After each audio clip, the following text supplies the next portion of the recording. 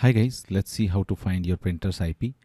So if you want to find the printer's IP, what you can do, just search control panel in the search box and now open control panel.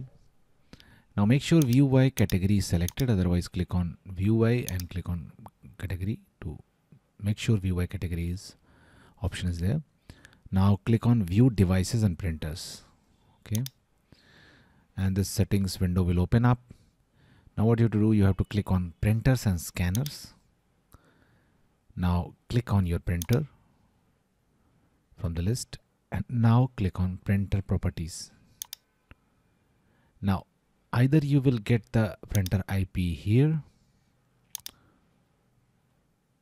Okay the location. Or if it is not available click on ports. And here just expand the port here the printer port will be listed here as a TCP IP and the IP will be there. So either it will be here or here. You can find this in the ports. So that's it guys. Please do like the video to support us and thanks for watching the geek page